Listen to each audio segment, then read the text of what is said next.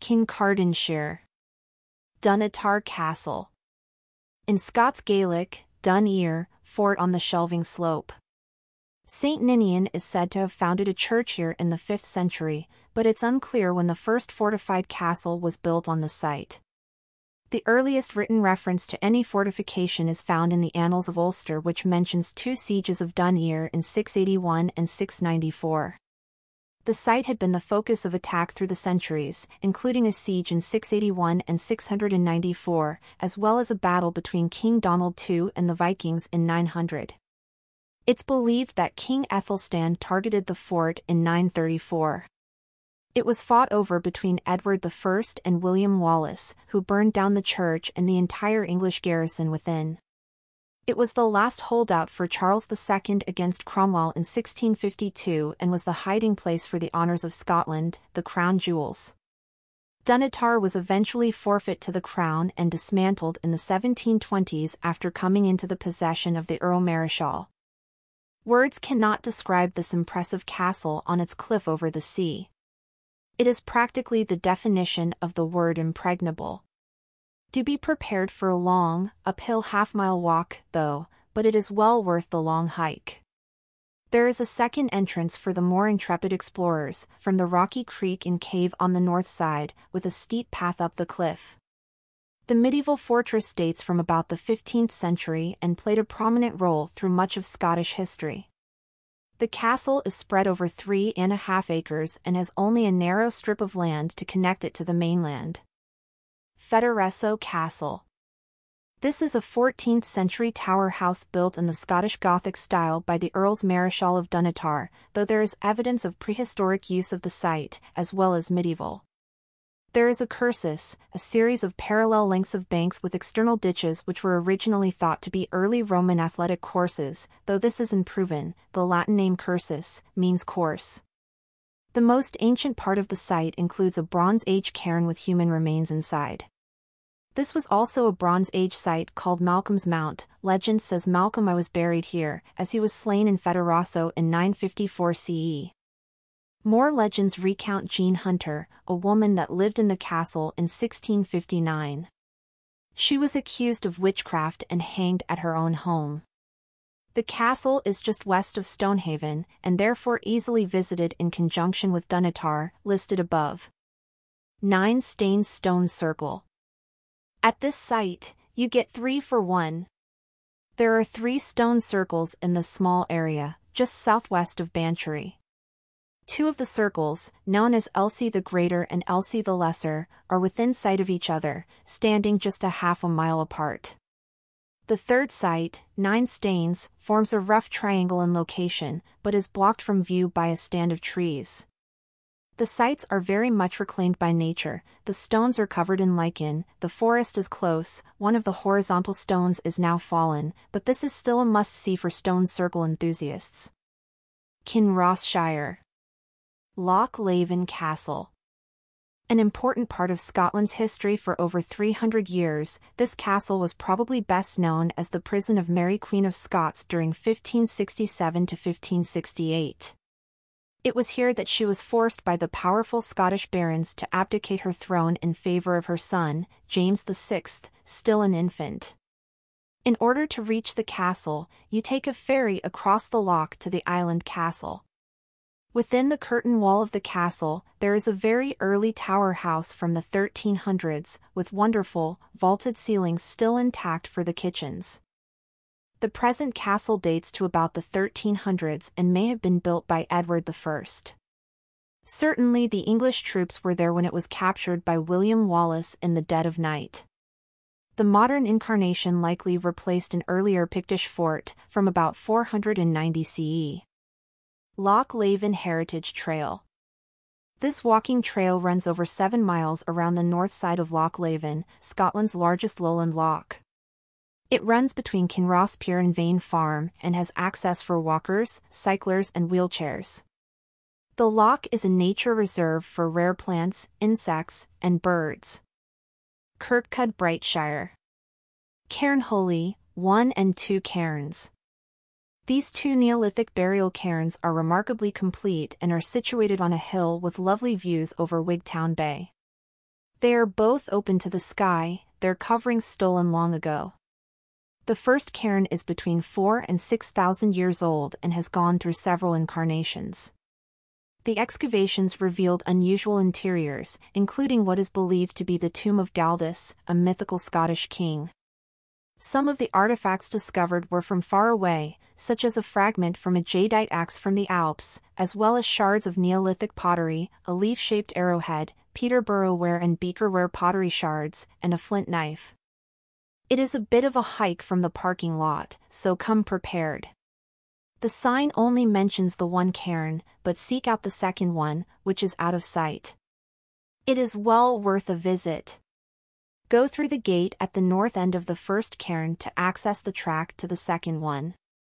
The balancing slab is massive and almost perfectly flat. MacLellan's Castle Built in 1582 by the MacLellan family, this once the grandest house now stands in ruin, it's square and solid, imposing against the skyline, a testament to family ruin and poor decisions. It was partially built with the stones from the ruined convent of Greyfriars nearby, as well as the stones from the old royal castle in Kirkcudbright. Perhaps this cannibalism doomed his home to ruin in the future? By all accounts, Sir Thomas MacLellan was not above bending the law to his own designs, which led to his failure when the cost of troops to keep his Irish lands grew too high. He ended up as a glover working in Edinburgh, while other branches of the family retained ownership of the castle. It's now in the care of Historic Scotland. The castle never saw hostile action or generations of remodeling, so it stands as it had after it was, in turn, cannibalized by other builders. Sanquhar Castle. While it isn't easy to find, it is a fascinating place once you do. Do take care, as this ruin is still crumbling.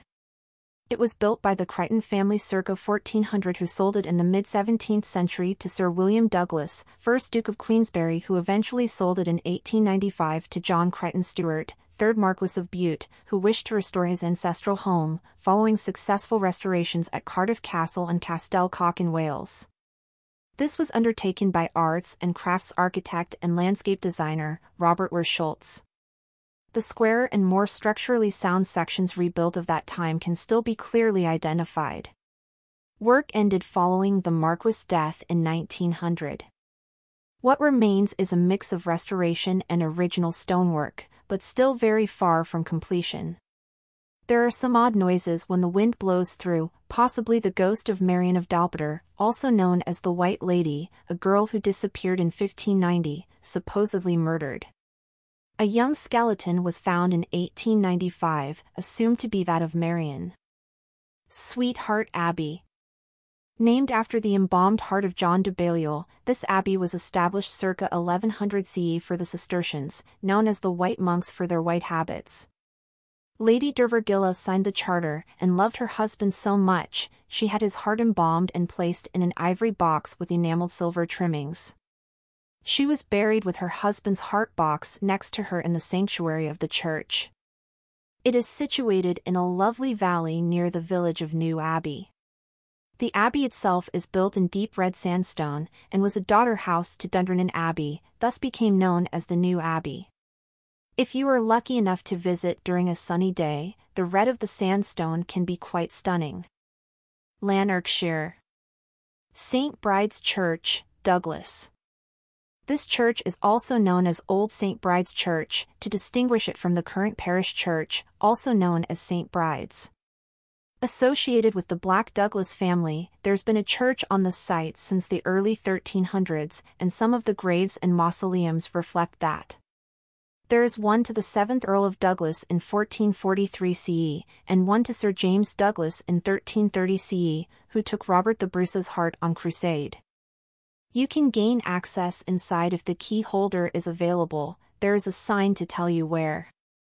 Inside, there is a clock thought to have been built in the 1560s, a gift from Mary, Queen of Scots, which may be the oldest working clock in Scotland. It chimes three minutes early, in honor of the Douglas family motto of Never Behind. Wanlock Head. Care to visit the highest village in the UK and the highest pub in Scotland? Come to Wanlock Head, at an elevation of more than 1500 feet above sea level, was founded in 1680 by the Duke of Buccleuch, who built a smelting plant and cottages for the workers. Wanlock Head is at the head of the Mennock Pass, part of the southern uplands, now boasts a lead mining museum, a walking trail, an old village smithy, and the highest pub in Scotland, the Wanlock Head Inn. The name comes from the Gaelic Quingillac, or narrow place. There are gold and lead deposits in the hills, exploited since Roman times. The regalia of the Scottish crown used some of the gold mined here, which tested as some of the purest gold in the world. World of Wings Would you like to learn how to fly a falcon, owl, or hawk? Located within the Cumbernauld Outdoor Activity Centre in North Lanarkshire, the World of Wings has the largest collection of birds of prey in Scotland. They are involved in conservation and breeding projects, as well as providing falconry courses and educational talks.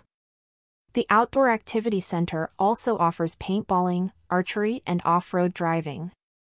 Midlothian Camera Obscura, Edinburgh. Welcome to the land of illusion. Edinburgh's oldest visitor attraction since 1835, this exhibit explores the different ways in which mirrors, photography, and visual illusion can trick the eye and the mind. There is a vortex tunnel, a mirror maze, kaleidoscopes, holograms, the Ames room, and the camera obscura itself, which I particularly enjoyed, as an artist. The rooftop view is amazing, and it has high-powered telescopes and binoculars to use. Explore six floors of hands-on, interactive exhibits, a great indoor alternative on a rainy day in Edinburgh. Doon Hill Settlement While this site is of great archaeological importance, being one of the few settlements in southeast Scotland from the Anglo-Saxon Northumbrians of the 6th and 7th centuries, it is not physically impressive for those with little interest in the history. The former settlement is marked out on the field with narrow concrete paths, showing where the walls had been. It may have been the site of a pre-Christian temple, from the details found at the burial enclosure. A timber hall had been built, probably for a local Anglo-Saxon lord. There is evidence that the hall was destroyed by fire after 50 to 100 years' use, but quickly rebuilt. Greyfriars Kirk In the heart of Edinburgh's Old Town, this small church has no steeple, so it's not as easy to find. Look for the Greyfriars Bobby's Bar, and you will see the passage to the church. It is a beautiful building, restored with lovely stained glass windows. The National Covenant was signed here in 1638, but there are other reasons it is so well known. You can find the grave of policeman John Grey, whose Skye Terrier, Bobby, aka Greyfriars Bobby, waited there every day for 14 years until his own death. There is a small statue of the wee dog in front of the pub, and a Disney movie made about the story. Museum of Fire Many people don't realize that Edinburgh was the location of the first municipal fire brigade in Europe. This museum helps recount that history between 1824 and the 1940s there are engines, equipment, and uniforms on display for the visitor. You can see horse-drawn pumps, hand-pulled pumps, and all sorts of interesting and antique equipment. There are also poignant memorials to those lost in fighting fires throughout the years, including one to those firefighters lost in New York on September 11th. It is located on the ground floor of the Lothian and Borders Fire and Rescue Service. Do not be fooled by the modest exterior, as it hides a much larger interior area. Underground Edinburgh There are a couple of attractions, such as the real Mary King's Close and the Edinburgh Vaults. The real Mary King's Close, who doesn't love a good ghost story? Especially if the location is creepy and quiet even in the bustle of the modern world? In the 1600s, this warren of underground streets was closed off to prevent the spreading of plague. It is filled with mystery, tales of ghosts and cruel horrors. You can tour the area with a costumed guide with a flair for the melodramatic. The Edinburgh Vaults, this is a series of chambers underneath the city of Edinburgh itself, formed from almost 20 arches of the South Bridge, built in 1788. These vaults used to hold all manner of shops, hold smuggled goods, and hidden bodies. Ghost tours are conducted through here as well, and end at a venue called the Caves and the Rowan Tree. It was named after a prominent businesswoman in the 1630s, a widow who traded in fabrics. The ghosts reputed to haunt the area include a young girl, and countless dolls and toys have been left to placate her troubled spirit over the years. Rosslyn Chapel Everything you've heard about this place is true, the carvings are amazing and incredible. It's a small place, and yes, the outside is covered with a permanent canopy to protect the stonework from the elements. But the carvings are mostly on the inside and will take your breath away. No surface in this church has been left uncarved. Little angels cavort on the columns, devils carved upside down. Also around the chapel, you'll find hand-carved figures of animals, human figures, and items from nature such as seashells and sheaves of corn and wheat. You can't help but notice the apprentice pillar, the only spiral structural support in the chapel. As the story goes, the master stonemason was going away for a few days and told his apprentices he wanted to be impressed when he returned, create pillars of hand-carved stonework to impress him. On his return, one apprentice had created a spiral pillar. So jealous did the master mason become that he took up a hammer and bludgeoned the apprentice to death. The master mason was arrested and put to death. There are three faces around the church, the master mason, the apprentice with a hammer mark on his forehead, and that of the grieving mother. A basement crypt is also open which features the tomb of the second Earl of Rosslyn who died in 1837. He wished to be buried in the original vault, variously rumored to be the resting place of Jesus Christ's head, the Holy Grail, and or the treasures of the Templars, reputed to be the original Scottish crown jewels. An exhaustive search was made, but no entrance to the original vault was found, so he was buried beside his wife in the Lady Chapel, which is entered into through a small door near the altar. Rosslyn was used in the filming of the movie, The Da Vinci Code, which has reinvigorated interest in this site. Royal Botanic Garden If you are intimidated by the hustle and bustle of Edinburgh, go for a relaxing walk in the gardens. It started in 1670 as a physic garden for medicinal plants. Now it includes a herbarium, alpine plants, a Chinese hillside, glasshouses with several different environments on display, rainforest plants, peat walls, waterfalls, a Scottish heath garden, and many more. Entrance is free, though there is a small charge to go into the glasshouses. There are four Royal Botanic Garden locations around Scotland, in Edinburgh, Dawyck, Logan, and Benmore, and each has a particular collection of plant life. The total collection numbers more than 13,000 living plant species, and the herbarium has over 3 million preserved specimens. Scotch Whisky Experience, on the Royal Mile in Edinburgh, stop in to sample some drams. This is no staid, standing around chore, gazing at empty barrels and sealed vats.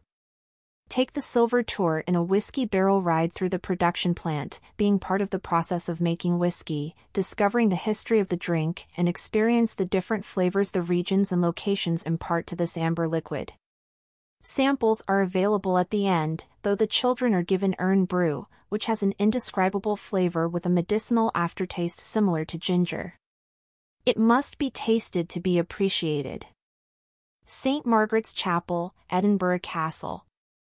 Edinburgh Castle itself is far from a hidden gem. Indeed, the imposing structure juts up out of the hills of the city like a sentry and crowning the medieval heart of Edinburgh. However, St. Margaret's is the oldest part of the site and is quite tiny and peaceful. It dates to circa 12th century and likely built for St. Margaret's son, David I. It was restored in the 19th century to the form it is today. Robert the Bruce captured the castle in 1314 and destroyed all of the buildings except for this chapel. On his deathbed in 1329, Bruce issued orders for the chapel's repaint, leaving some £40 for restoration. From that time, the chapel was known as the Royal Chapel of the Castle. There are several beautiful stained glass windows, including one of St. Brendan the Navigator, an Irish explorer monk from the 5th century. Other windows show St. Andrew, St. Margaret, St. Columba, St. Ninian, and William Wallace. They were created by the artist Douglas Strachan. Stone of Destiny also known as the Stone of Scone and the Coronation Stone, for centuries it was used in the coronation of Scottish monarchs, and later those of England and Great Britain. The stone was last used in 1953 for the coronation of Elizabeth II. There are many tales and legends about this stone, including that in 1314, then King of Munster, Cormac McCarthy, is said to have sent 4,000 soldiers to aid Robert the Bruce at the Battle of Bannockburn. Bruce showed his gratitude by gifting the McCarthy with half the Stone of Destiny. While this is a very romantic story and quite believable, the Stone of Destiny is actually red sandstone while the Blarney Stone is bluestone, another type of sandstone, which puts this romantic story to rest. Regardless of its origins, geologically, from Scone, hence the name Stone of Scone, pronounced Stone of Scone with a soft O, it was taken by Edward I to Westminster and placed under the throne until 1996, when it was returned to Edinburgh Castle. A replica stone can be found at Scone Palace, in Scone near Perth. Moray. Ardclach Bell Tower.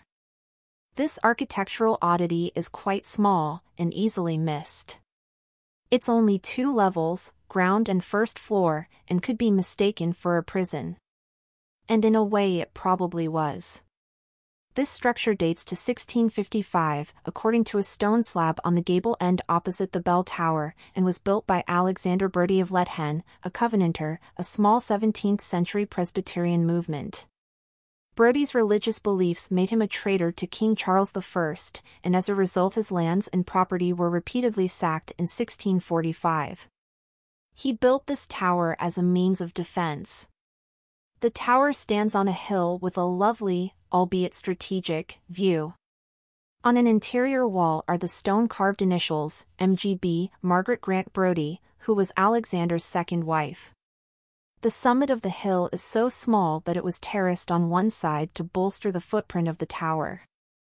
The tower was eventually acquired by the Ardclach Church to use as a bell tower, which was added at that time, presumably because the high elevation meant the sound of the bell would be heard in a much greater distance than from the church in the valley. However, that never happened, and in 1838 when the building was restored, it continued as a belfry but was never used for the purpose in which it was meant. Auchindoun Castle this 15th-century ruined tower castle was built on the remains of an Iron Age hill fort. There are prehistoric and Pictish earthworks on these grounds. It was built by Thomas Cochrane, who later became the Earl of March. It was then passed to the Clan Ogilvy in 1489, and then on to Clan Gordon in 1535. Following the restoration of Charles II, the castle was again awarded to the Marquis of Huntly. It was destroyed by the clan Macintosh in 1592, and many of the stones removed and used elsewhere in the region, including Balvenie Castle. It was totally derelict by 1725 and has never been restored, though the remaining ruins are still impressive. At one point, the site contained a stable, brewery, bakery, and cellars, and the dungeons, which were carved into the bedrock beneath the tower. Condemned for many years as too dangerous, the structure was stabilized and opened to the public in 2007. Brodie Castle This restored manor house, home to the Brodie family, was originally built in 1567, but destroyed in a fire less than 100 years later. It was rebuilt and expanded in the early 19th century when the manor house was added onto the castle and is now very well preserved and open to visitors, weddings and events. The interior is truly impressive, with all sorts of magnificent details, such as the Victorian kitchen, the day nursery, complete with a children's cooking range and a dining room. In true Victorian fashion, the attention to detail, particularly on the dining room ceiling, are incredible. There is an ancient Pictish monument on the grounds called Rodney's Stone, a two-yard high cross slab with carvings on both sides. One side has a cross, and the other, symbols of fish monsters, a beast, and a double disc.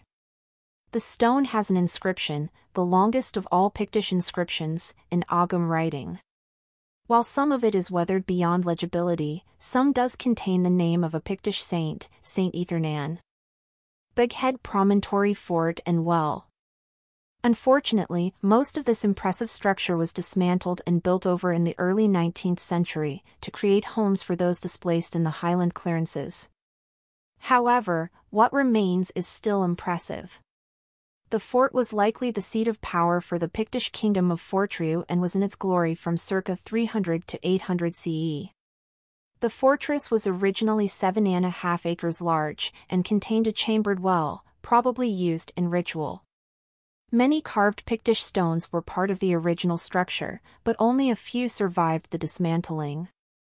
Many had bull carvings, a symbol not normally found in other Pictish carvings, they became known as the Burghead Bulls. Those few are now housed in the visitor center, which also recreates the former glory of the site. Elgin Cathedral Majestic and imposing, this spectacular cathedral is stunning even in its ruin. What remains are the bones of its former glory. This cathedral was established in 1224 and dedicated to the Holy Trinity on land granted by King Alexander II, replacing the cathedral at Spynie a few miles away. It was staffed by 18 canons by 1226 which increased to 23 by 1242. Through the centuries, the church suffered through sackings and burnings, but increased its size with each restoration. And by 1560, the time of the Scottish Reformation, the number of canons had increased to 25. Elgin Cathedral became the second largest cathedral in Scotland, behind St. Andrew's which was the largest. As a result of the Reformation, the cathedral was abandoned, its services transferring to the parish church of St. Giles. Once the lead waterproofing was removed from the room in 1567, the church quickly fell into ruin and rapid decay. The site was tidied in Victorian times, a time when visiting graveyards came into fashion, but the church was never restored and remains open today for casual visitors. Notable mentions are the intact chapter house and its elegant, vaulted ceiling, the Pictish cross slab, and the stone figures of a bishop and a knight in the nave. While you can climb to the top of the North Tower, beware if you suffer vertigo. Nairnshire Cawdor Castle this restored late 4th century castle dates back to circa 1180 when the first Thane of Cawdor, or Calder as it was originally spelled, was appointed sheriff and hereditary constable of the royal castle at Nairn. Thane is the equivalent of baron. The keep received its license to fortify in 1454. It's unknown who originally built the first structure, but by this time it was well in the possession of Calders, and William Calder, the sixth Thane of Cawdor. This site has some unique features, including being built around a small living holly tree. Legend says that a donkey laden with gold laid down to rest under the tree, and the site for the castle was chosen. The remains of that tree are still evident in the lowest chamber in the castle, called the Thorn Tree Room. The castle is associated with Shakespeare's Macbeth, as he was hailed as the Thane of Cawdor by the three witches. However, the true Macbeth died 130 years before the title existed and was likely changed subsequently from the Thane of Cromarty. There is a gift shop on site, as well as a bookshop, a wool shop, and restaurant. The extensive estate and walled garden are open to visitors, as well as the golf course and natural woodlands. Clava Cairns Nearby Culloden, you can find the Clava Cairns. The Clava cairn is a type of Bronze Age circular chamber tomb cairn and named after the group of three cairns at Balnuaran of Clava. There were several cairns and stone circles in Clava, and it was a fascinating place, even in the bright sunlight. The stones themselves had many interesting patterns on them, not necessarily carved patterns, but the stones themselves and the lichen growing on them were lovely. One is covered in cut marks, small man-made concave indentations. Nairn Beach. Low sand dunes and a promenade stretch along the Nairn coastline, making this a lovely walking beach, where you can look across the Moray Firth to the Black Isles. If you fancy a long walk, there is a nearby nature reserve with several coastal walks. It is a great family picnic spot. There is a resident school of dolphins in the water itself. Orkney While this may seem like a long way to travel, the Orkneys have many lovely places to visit, explore, and experience. There are countless Neolithic and Viking sites to see, as well as a wonderful mix of Pictish and Norse culture throughout the islands. Balfour Castle Located in the Orkney Islands on Shapinsay, this is the most northerly castle hotel in the world. It's a Victorian structure, built on an island you can reach by ferry from Kirkwall. The village was created to support the estate in the late 18th century and offers lovely views of the other islands from Ward Hill. The castle itself has turrets, a castellated tower, and large picture windows. There are several historic outbuildings, such as a smithy, gatehouse, gas house, and the largest water-powered grinding mill in Orkney. There is a standing stone called Mor Stein, standing at three yards high, said to have been thrown from the mainland by a giant, after his fleeing wife. There is a chambered cairn with the colourful name of Castle Bloody. The Broch of Burroughston is a Pictish tower. Bishops and Earls Palaces Located in the town of Kirkwall, these palaces are considered two of the best examples of architecture in Scotland and show both Norse and ecclesiastic elements. The fireplace, in particular, is spectacular. The front facade has a complex array of corbelled turrets and oriel windows. The bishop's palace was built by the Stuarts at the same time as St. Magnus Cathedral, see below, and is where King Haakon IV died, marking the end of Norse rule in the Outer Hebrides. The Earl's palace was built in the early 1600s, mostly by forced labor, when the Lord of Orkney felt the bishop's palace no longer suited his needs. Complicating matters, the Stuarts did not actually own the land on which they built. While under arrest, his son waged a battle to claim the land and capture the palace, but he too was arrested, and both father and son were eventually executed. The properties eventually fell into the hands of the crown and went to ruin by the 18th century. Though the roof is missing, it retains some of the elegance of its original Renaissance architecture. Blackhammer Cairn this chambered cairn on Rousay in Orkney has gotten a reconstructed concrete roof to protect the remains of the cairn from the elements. Seven chambers are divided by upright stone slabs, set in a distinctive decorative design. This triangular design is mirrored in Unstan pottery patterns from the area. The roof has translucent panels to let light into the chambers, but you can still see the cairn walls and chambers with the original construction. Some of the items discovered in the cairn are flint knives, remains of an Unstan urn, animal bones and the remains of two humans. Broch of Gurness slash Midhow Broch. This is a Pictish tower with a very large and complex footprint on the edge of a windswept and stormy coast. It was inhabited until circa 100 CE, and likely housed an extended family. It was probably used as a last defensive resort for an entire surrounding village, though, during times of attack. There is evidence that it was used as a Viking burial site in later years, from grave goods and human remains. You might also want to check out the nearby Midhow Broch across the Eynhallow Sound on Rousay. This one stands on a tall cliff and is well excavated with extensive outbuildings. Exceptional views here. You can sometimes see seals in the waters below the cliff, perhaps on the small sandy beach. Broch of Birsay. Occupied by first the Picts and then the Norse, this important center is only accessible at low tide. The parking lot is at the point of Buckquoy, and then steps take you to the natural causeway.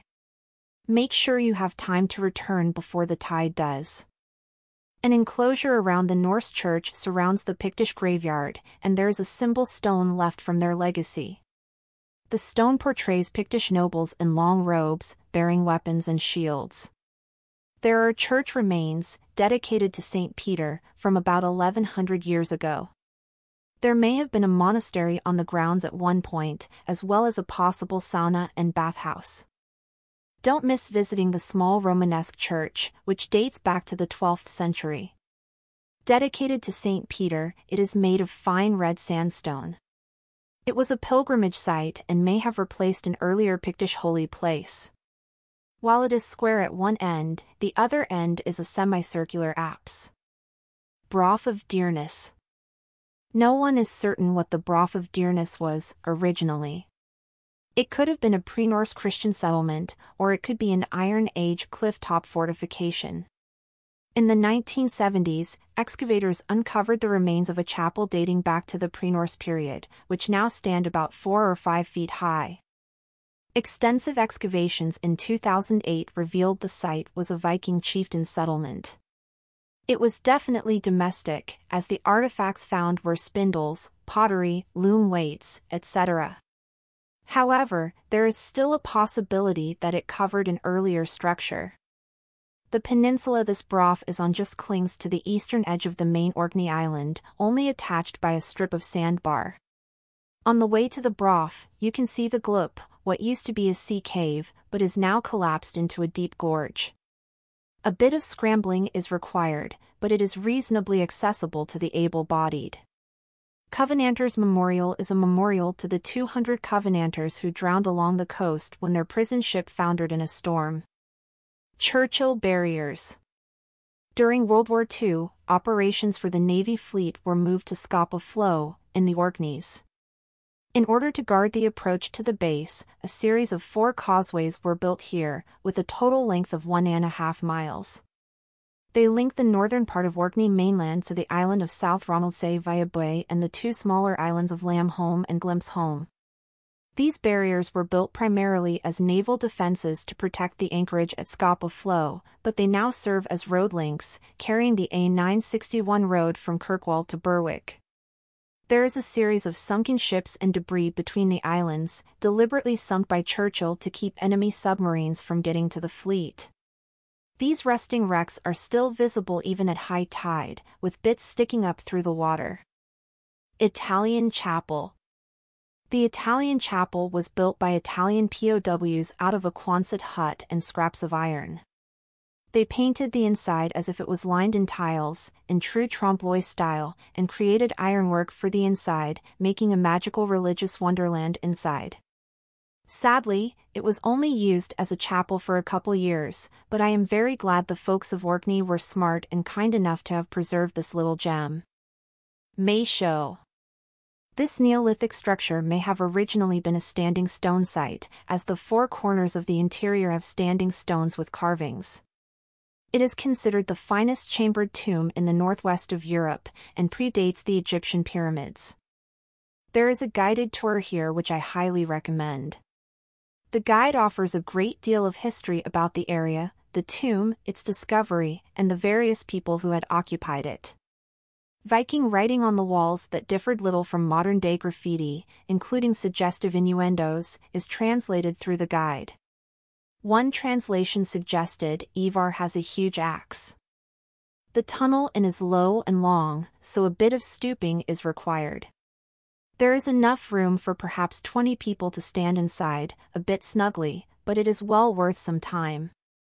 It is a fascinating glimpse into two distinct cultures, the original Neolithic builders and the Vikings, four thousand years later. At sunset on winter solstice, the entire length of the passage lights up with the sun shining on the rear wall of the central chamber. Old Man of Hoy UK's tallest sea stack, the Old Man rises out of the sea at 450 feet and can usually be seen from the ferry to Orkney, if the conditions are clear enough. The striations in the red sandstone give it a dramatic appearance, especially in the rain, as the colors are vibrant and stunning. The old man is probably less than 250 years old. It is not mentioned in the Orkneyinga saga, written circa 1230. On the Blaeu map of 1600 CE, a headland exists to the point where the old man is now. The Mackenzie map of Hoy of 1750 similarly shows a headland but no stack, though by 1819, the old man had been separated from the mainland. Artist William Daniell sketched the sea stack at this time as a wider column with a smaller top section and an arch at the base, giving the form legs. A short time later, a storm washed away one of the legs leaving it much as it is today, although erosion continues. In 1992 a 130-foot crack appeared in the top of the south face, leaving a large overhanging section that will eventually collapse. This has not deterred climbers and base jumpers and film crews. Orphir Church and the Earl's Bu. Off a side road near the Hoy Ferry terminus, this odd little round church ruin is near the Orkneyinga Saga Center, celebrating the Viking heritage of the area. It is the only surviving circular medieval church in Scotland. The church was modeled after the rotunda of the Church of the Holy Sepulchre in Jerusalem. Most of the church was destroyed to build the nearby church in 1757, and that is also now long gone. In the Orkneyinga saga, written in 1136 CE, there is an account of a great Yule feast given by Earl Paul at his BU, or residence, at Orphir. There was a large drinking hall, the door was near the east gable on the southern wall, and a magnificent church stood before the hall door, and one had to go down to the church from the hall. The remains of that magnificent church are dedicated to St. Nicholas and still survive. The Bu was a manor house in the 1100s of the Norse Earls of Orkney, and the round church of St. Nicholas is just near it. There isn't much left of either, but there are some walls and foundations marked. There is a great collection of gravestones and markers, as well as lovely views over the Scapa Flow. Ring of Brodgar Any trip to Orkney would be incomplete without a visit to this site. It's not a hidden site, but it is worth a mention because it is truly impressive. The large circle of stones, measuring 114 yards in diameter, lies just north of the Stenness Stones on the main Orkney Island. There is an earthen ditch around the stones, and the very flat surrounding land and islands make it seem like you can skip stones for miles, just hitting each small island on the way. The site has never been fully excavated or scientifically dated, so it remains shrouded in mystery and myth. However, it is likely that it was built between 2500 and 2000 BCE. It is thought it originally had 60 stones, but only 27 remain. It's the third largest circle in the British Isles, after Avebury and Stanton Drew. Recent ongoing excavations in the nearby Ness of Brodgar have revealed an extensive domestic complex of Neolithic buildings, artwork, pottery, bones and tools, in an area of about 6 acres. The site dates from circa 3200 to 2300 BCE, which makes it concurrent with the building of the Ring of Brodgar. St. Magnus Cathedral the word of the day is red. Red and white sandstone make this 12th century cathedral, the carvings of which would be spectacular anyway, unique and exquisite, especially in the rain when the stone is wet. It is also the most northerly cathedral in the British Isles. There is fantastic curvilinear ironwork on the massive oak doors and soaring Romanesque archways in red sandstone to greet the visitor. St. Magnus was reputed to be pious and gentle. He refused to fight or raid and was granted a share of the earldom of Orkney held by his cousin, Haakon. They ruled peaceably for some years until their followers started arguing. An assembly was set to settle the matter, and Haakon brought more ships than they had agreed upon. Magnus was captured and then killed by his treacherous cousin. The interior has more curvilinear designs, this time carved from stone, throughout the chapel. This is the largest building in Kirkwall, smack in the center of town, and a fantastic rallying point for groups that wander, or a base for giving directions through the winding streets of the city. It should be noted that Street Magnus is not owned by the church, but by the Burgh of Kirkwall. This was a result of an act of King James III of Scotland following Orkney's annexation in 1468 by the Scottish Crown. And it has its own dungeon. Scapa Flow this body of water is sheltered by a string of islands around the main Orkney Island.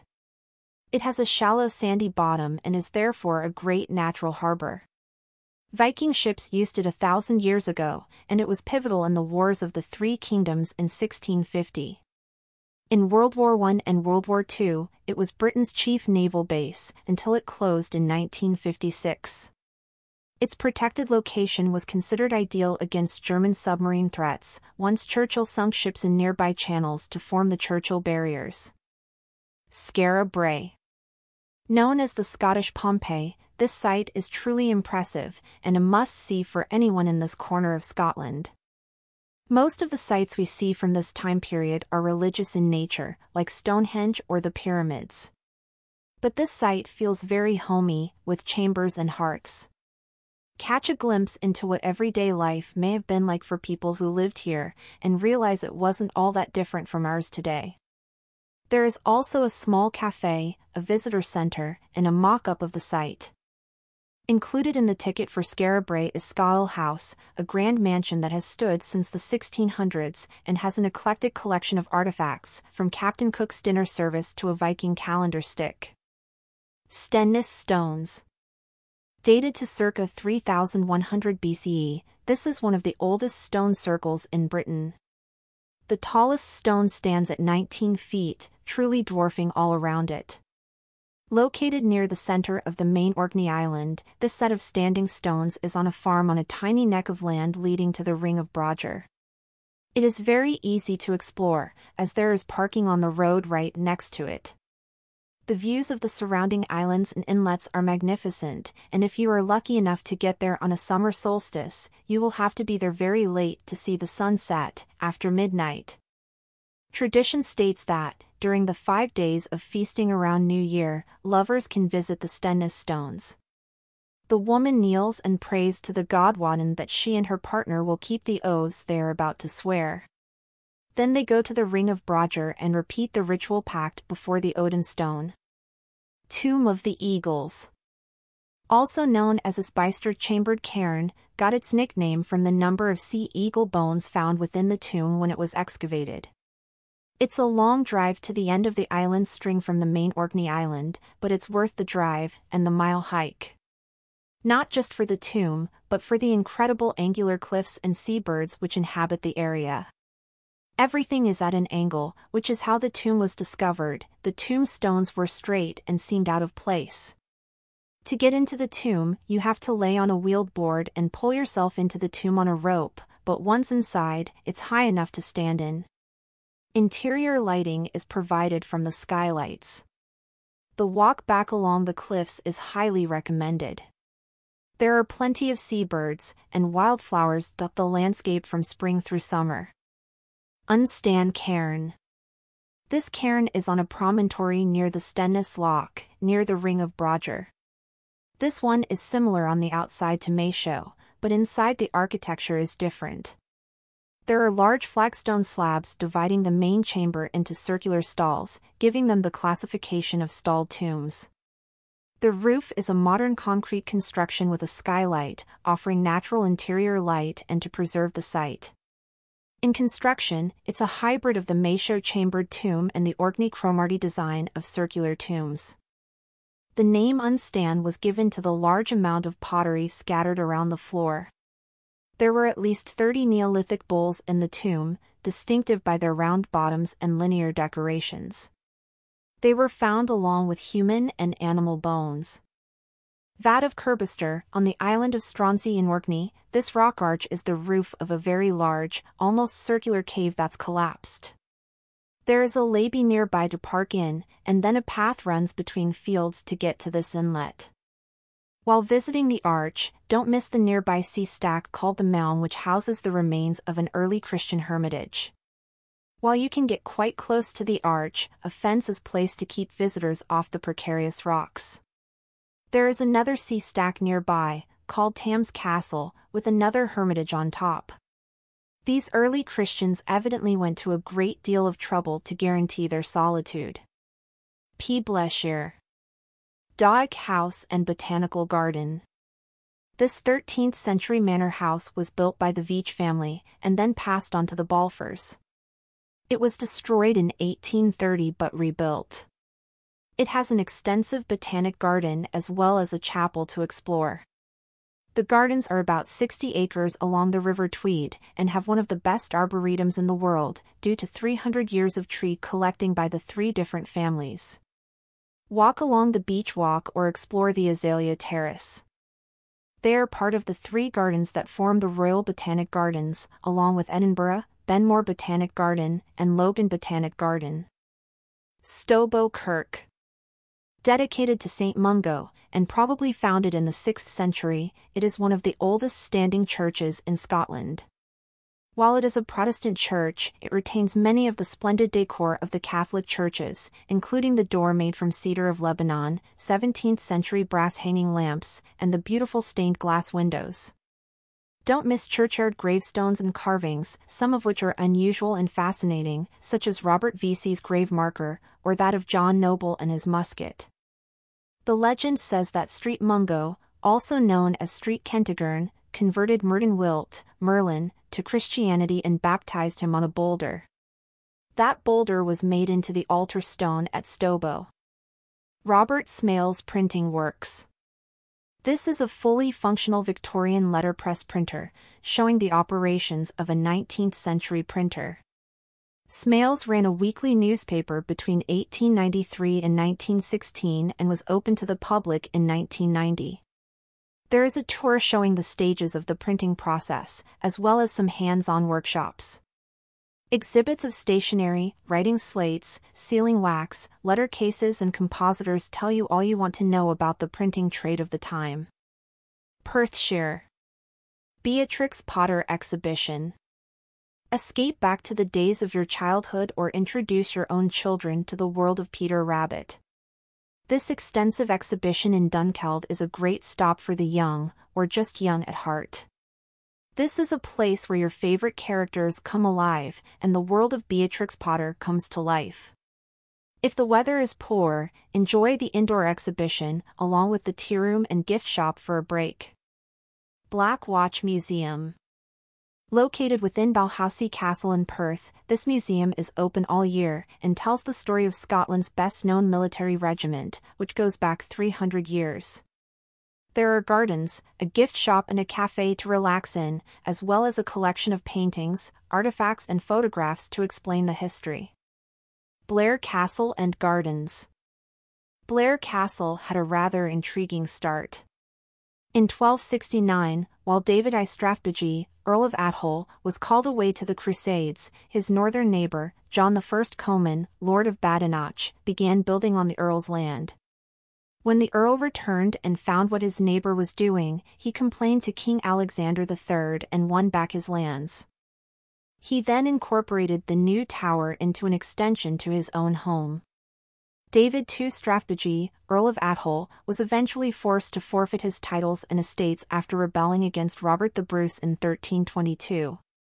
The earldom was granted to a number of individuals until 1457 when James II granted it to his half-brother, John Stuart. In 1629, John Murray, son of the second Earl of Tullibardine, was created Earl of Atholl, and the title has remained in the Murray family ever since. This spectacular white turreted castle is considered the ancestral home of the clan Murray. The current Duke of Atholl, John Murray, lives in South Africa, and his father had given the estate into a charitable trust to be left under Scottish control. It is open to the public, and the restored rooms have collections of weapons, trophies, paintings, furniture, and tapestries. It is the garrison for the Atholl Highlanders, the Duke's private army, and the only legal private army in Europe. Dunfallandy Stone A Pictish cross slab that stands alone about a mile south of Pitlochry, this ancient carving is accessible from a small road just off the A9. The walk is a couple of hundred yards past a farmhouse and a bit of a climb. The stone itself is under a glass and stone structure for protection from the elements. It stands about 5 feet high and dates to about the 700s. There is an elaborate cross carved on the face, with symbols and figures on the other side, with angels and animals. Fish-tailed snakes form a frame around the images of symbols and figures. The figures on one side are thought by some to be St. Paul and St. Anthony. It is known locally as Clach an t-Sagairt, or the priest's stone.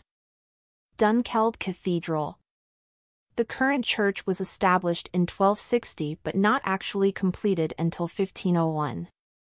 Located on the north bank of the River Tay, this location has been holy ground since at least 730 CE, when Culdees, Celtic missionaries, built a monastery here. The King of Scots and Picts, Kenneth MacAlpin, had the original church rebuilt in 848 CE. Dunkeld became the religious centre of Scotland when the relics of St. Columba were moved here after Viking attacks ravaged the monasteries of the west coast. The current cathedral has both Gothic and Norman architecture, reflecting its various histories in a fascinating contrast due to the length of time it took to complete. It holds several ancient carvings, such as the Apostles' Stone, the Old Bell and the Pictish Cross slab, from circa 800 CE. Falls of Dochart while this is a fast-flowing river, there are areas slow enough to allow climbing onto some of the rocks. On either side, there are interesting buildings, the Breadalbane Folklore Center and the Falls of Dochart Inn. While the Folklore Center started life out as a mill, the inn started out as a blacksmithy in the late 19th century. The Bridge of Dochart, built in 1760, crosses the river to Killin. From the bridge, you will see the cascades of falls, and an island called Innisfree, which is the burial place of the clan MacNab. In the center of the grounds, you will find an oblong enclosure which holds the burials of nine of the clan chiefs. Finlarig Castle With a rather bloody history, the ruins of this castle are hidden away along a deep forest path along the River Lochay, near Killin. It was built in 1629 by Black Duncan Campbell, of the Campbells of Breadalbane. It includes a stone-lined pit, legendarily used for beheading prisoners of noble blood. Commoners were not accorded such courtesy, though, they were hanged on a nearby oak tree. Finlarig's most notorious visitor was Rob Roy who reputedly stayed here in 1713. Nearby are the remnants of the Breadalbane Mausoleum, built circa 1830 in a mock Tudor style. This mausoleum was built over a former church and burial grounds which had been established in 1523. Explore both areas with caution, as these are not maintained ruins, and loose stones are likely. The Hermitage Pleasure Ground Located near Dunkeld, this lovely forest is home to Ossian's Hall of Mirrors, Ossian's Cave, and others are Georgian follies built by the Dukes of Atholl. Ossian was a blind bard in Celtic legend, styled after the Irish bard, Oisin. The Hermit's Cave was built circa 1760 for the Earl of Breadalbane to honor the bard. He advertised, unsuccessfully, for a permanent hermit to live there, basically as a tourist attraction.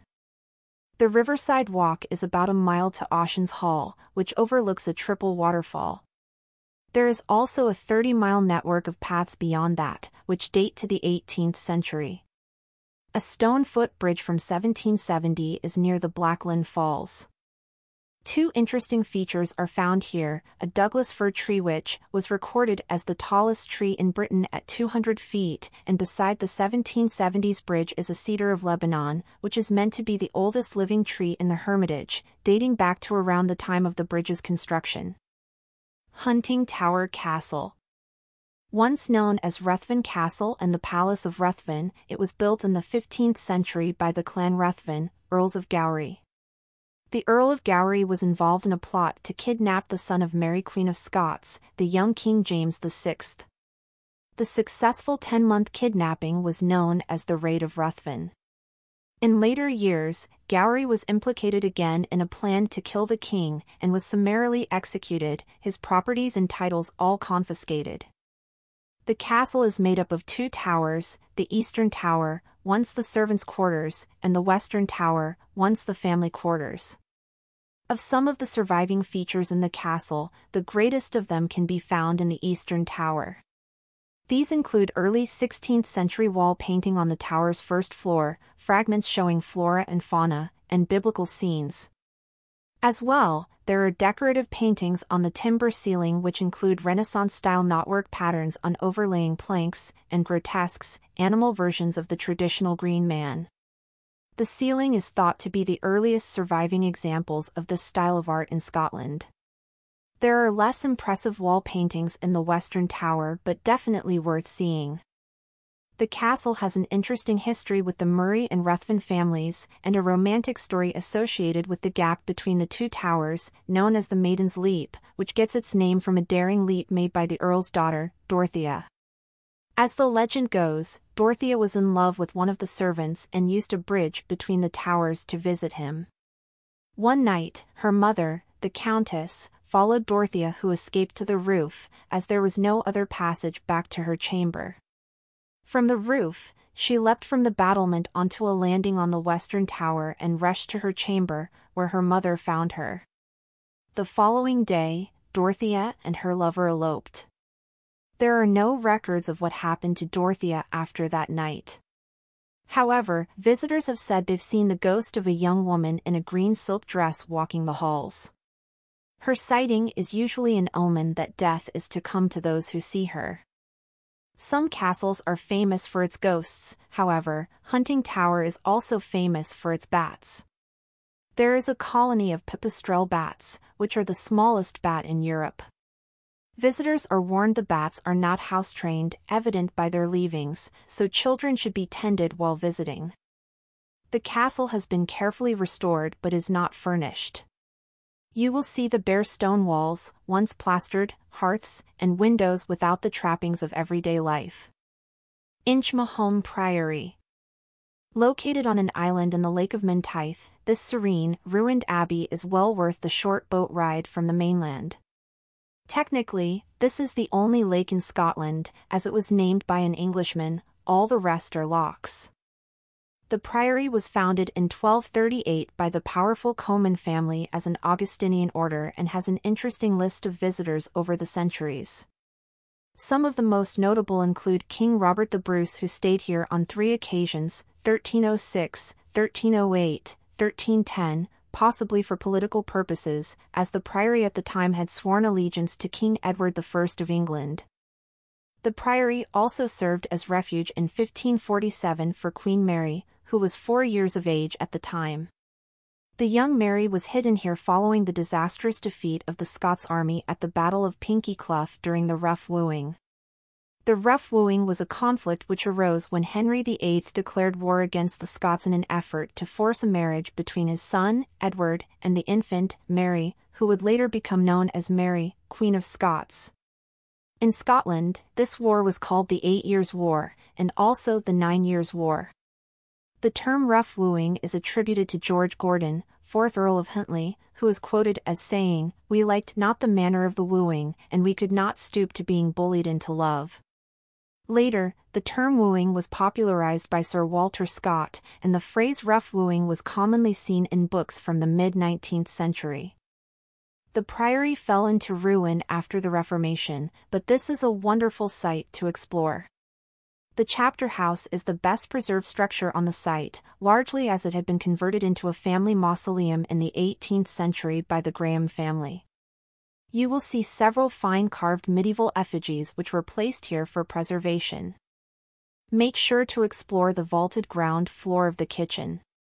There is a small forest on the island that is worthy of exploration and serene reflection. If you are there in the right time of year, the forest floor is covered in bluebells. Keillor Symbol Stone The stone is 6 feet 5 inches in height and only carved on the side facing the road. It is well situated in a flat area and visible for miles. The carvings include a double disc and Z-rod, which may represent the dynasty of a line of Pictish kings, sort of like a coat of arms the burial of a woman's bones and carvings of a less distinct mirror and comb symbol indicate it might be the burial tomb of a noblewoman, but that is open to speculation. At the top is the carving of an animal, either a wolf or a bear, with his mouth open. The stone is estimated at 1200 years of age. Meikleour Beech Hedge If you have an urge to feel small and insignificant, seek out this odd hedge. Since 1966, this has been recognized as the tallest and longest hedge on Earth. These beech trees average 100 feet in height and stretch along the roadside for one-third of a mile. The hedge was planted in 1745 by Robert Murray Nairne and his wife, Jean Mercer of Meikleour, shortly before the arrival of Bonnie Prince Charlie to Scotland. It is said that the beech trees stand tall and straight towards heaven because the men who helped plant the hedge were killed at the Battle of Culloden. It takes four men six weeks and a hydraulic lift to trim the hedge. Tynreich Stone Circle The word Tynreich comes from the Old Gaelic name Tai Naruake, or the House of the Heather. This place is hidden in plain sight, near Ballinluig in Perthshire. It's not that easy to find, but is actually on the grounds of Tynreich Nursery, so check opening times before visiting. This compact stone circle has six stones and is just shy of 22 feet in diameter. The largest stone is triangular in shape with ice cracking on the face of it. The excavation in 1855 revealed four ceramic urns with cremated remains, but those have been lost over time. Renfrewshire Castle Semple Loch. This lock is approximately one and a half miles in length, at the eastern end of which are the ruins of Castle Semple, built sometime between 1490 and 1520. There are many attractions around the lock, including a water sports center, a bird sanctuary, and of course, the ruins of the castle which are only accessible by boat. The ruins of a collegiate church built in 1505 are situated on the north shore, and still retains the walls of the old walled garden. There is the octagonal temple on top of Kenmure Hill near the house, built as a hunting outlook in the 18th century. Peel Tower on the south shore can also only be reached by boat. This medieval stronghold was likely used by locals as defense against bandits. Gleniffer Braes This range of hills south of Paisley is associated with the 18th and 19th century weaver poets of Paisley, such as Robert Tannahill and Hugh MacDonald. The Gleniffer Gorge is situated along the Tannahill Walkway, about 50 feet deep, formed by the Gleniffer Burn. The Craigielinn waterfall is lovely year-round, surrounded by forest and icing up with dramatic stalactites in the winter. Many birds can be seen in the area, including skylarks, sparrowhawks, goldcrests, and kestrels. Deer and tawny owls are around as well. The Lapwing Lodge Outdoor Center, circa 1910, was originally set up for Coats Mill workers as a sanatorium. Cycling and horseback riding is encouraged, as well as seasonal activities like Easter egg rolling and sledging. Paisley Abbey If you love beautiful stained glass and architecture, you should visit Paisley Abbey. Dedicated to St. Mirren, this community was founded in the 7th century as a Cluniac monastery, a branch of the Benedictines. There are fantastic windows, both ancient and modern, throughout this restored building. While the origins date back to 1163, this building has constantly been updated and has many lovely sights. The timber ceiling was replaced in 1981 to replace a temporary plaster one from 1788. It's possible the name Paisley comes from the Brythonic word Pasaleg, meaning basilica. It is believed that William Wallace may have been educated at the abbey. King Robert II was born there, and possibly through an early caesarean delivery given without anesthesia. Don't miss the 12 angel corbels and stone communion table or the ceiling bosses. Outside are 12 gargoyles, recently replaced along the southwest cloister, including one modeled after the 1979 film Alien. Ross and Cromarty, The Isles. Arnol Blackhouse Museum and Gearrannan Blackhouse Village.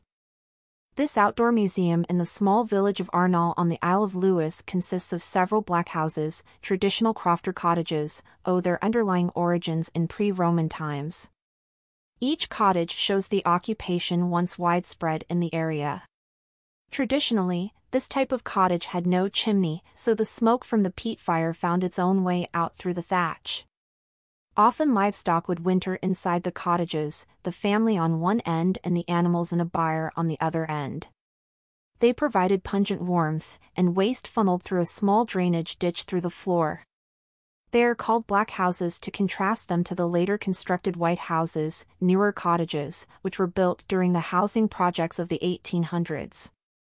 At the nearby Gearrannan Black House Village you can now rent a black house as a self-catering cottage. Bostadh Iron Age House. On the island of Great Bernera in the Outer Hebrides, this house was revealed after a storm in 1993 and then excavated. They found the remains of a Norse settlement, and under that, five Pictish houses from about 500 CE. The houses have been nicknamed Jelly Baby or Figure 8 houses, due to their shapes. The construction is fascinating, with double layers of dry stone, with gaps filled with sand, clay, turf, midden, and whatever was on hand. The original houses have been buried over again to protect them, but a reconstructed house has been erected for visitors. The island is accessible via road bridge from Lewis. It is located on a sheltered beach inlet. Callanish Stone Circle or Callanish, dating back to 2900 to 2600 BCE, the Callanish Stone Circle is probably the most famous stone circle in Scotland. There is a series of several stone circles around the Isle of Lewis, but Callanish is the largest and most impressive. It suggested that there were other structures on the site as early as 3000 BCE, but evidence shows the site was abandoned between 2000 to 1700 BCE. The circle is made up of 13 upright stones with a 14th stone in center which marks the entrance to a cairn. Stone rows jutting out from the north, south, east, and west form the shape of an uneven Celtic cross. This circle is larger and older than Stonehenge, with an informative visitor center to explain its history. Callanish 2, 3, 4, and V are smaller circles nearby, but within sight of Callanish I, Callanish 4 and V were down to just a few standing stones, and much more difficult to get to. Dun Carloway this is an impressive Iron Age tower with double walls. This is one of the most well-preserved brochs in Scotland, with the highest point in the ruin is nearly 30 feet high. The Morrison clan of Ness suggests the site was in use until around 1601 when current occupants of the fort stole cattle from the Macaulays of Uig. In retaliation, as the legend goes, Donald Cam Macaulays used two knives to pull himself up the outer wall, then pushed Heather into the broch, setting it alight. This smoked out the inhabitants, and the Broch was summarily destroyed. The site is easily accessible, with a little climb but nothing punishing, and has incredible views of the surrounding area. Its location is fantastic, the land undulated like a disturbed pool. When the sun deems to come out, yellows, golds, oranges, purples, and every other color under the rainbow will appear to jump out at you from the peat bogs and fields. Port Nis, Ness. On the northern part of Lewis, the landscape becomes peat bog, a moonscape of undulating brown and gold turf, gently rolling along the top of the land. There are occasional villages along the only road into Ness village, with white and sandy stucco houses dotted here and there like lonely outposts to a forgotten civilization.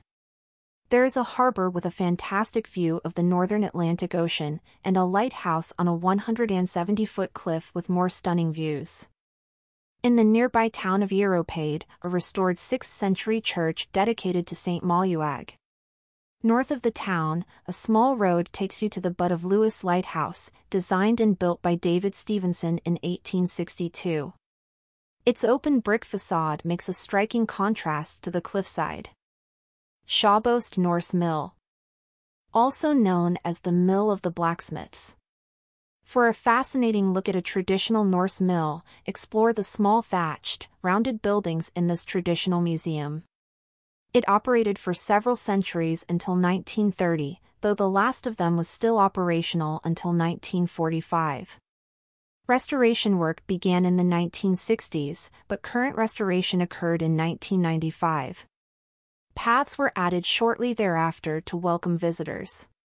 There is a kiln, the impressive mill itself, the stream from which the power was gleaned, and the millstones which ground the flour. St. Kilda and Shiant Islands.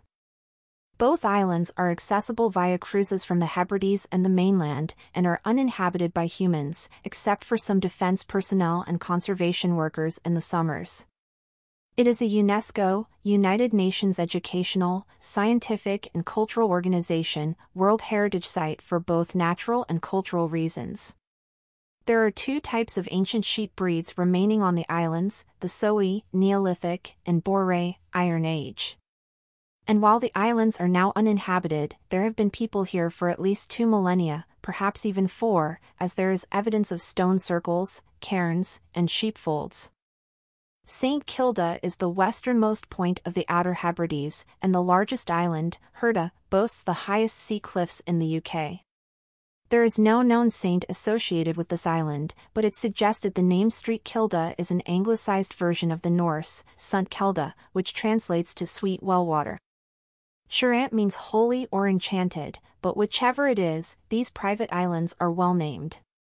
These are volcanic islands between Skye and Harris, and have the dolerite columns similar to those in the Giant's Causeway in Ireland and Staffa, part of the Mull Islands.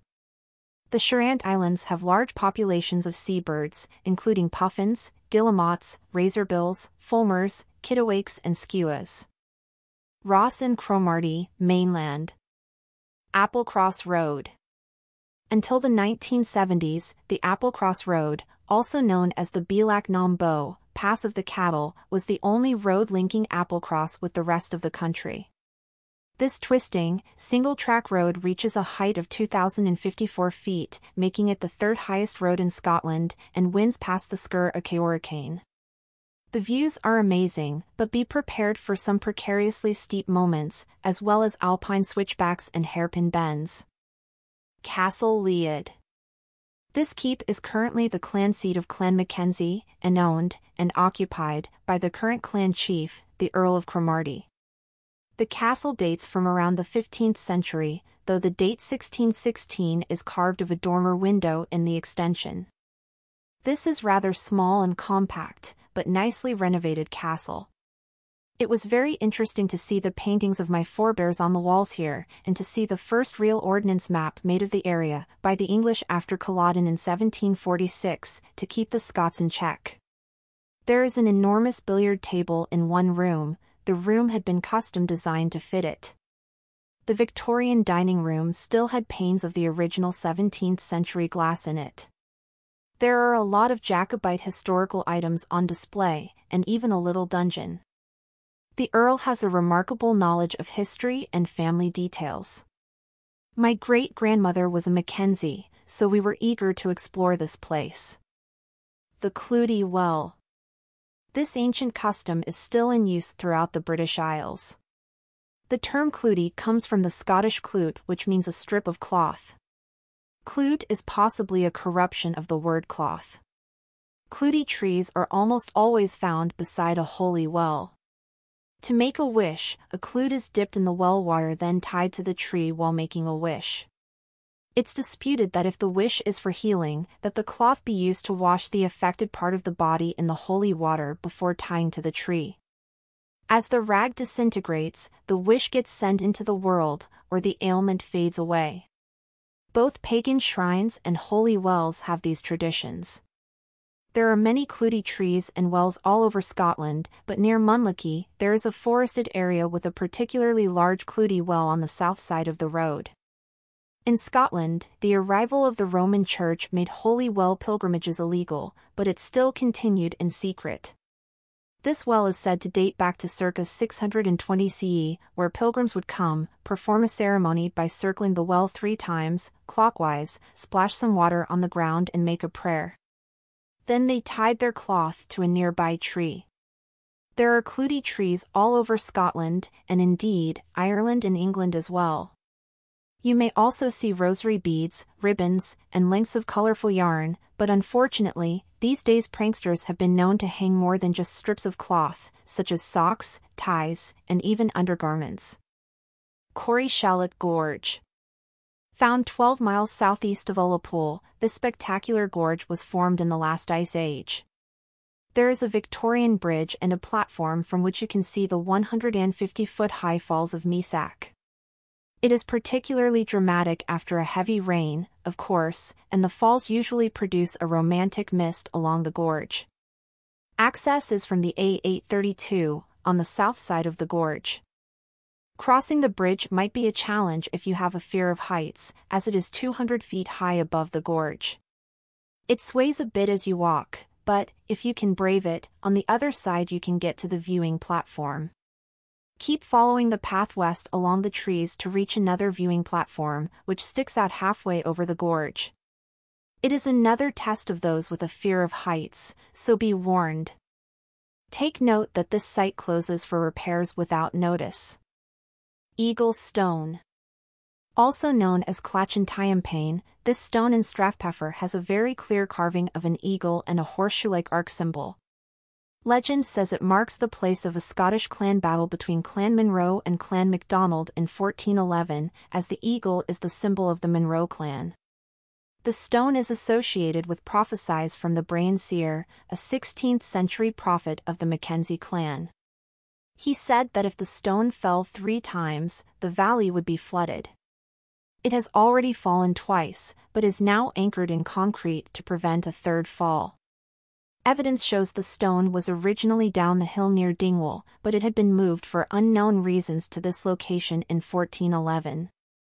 Edderton Cross Slab and Clach Biorach a Class 3 Pictish stone, located in the old graveyard in Edderton Village, this cross is made of stunning red sandstone. It has a simple Celtic cross on one side, and on the other side is a horseman with two riders below. This stone has recently been reset in the earth, as it had either sunk into the soil over the centuries, or the soil grew up around it. Either way, you will see a noticeable discoloration. On the other side of Edderton Village is the Edderton Symbol Stone, or Clach Biorach, a pillar of Bronze Age origin. This stone is nearly 10 feet tall and is a Class 1 Pictish stone with double disc and salmon carvings.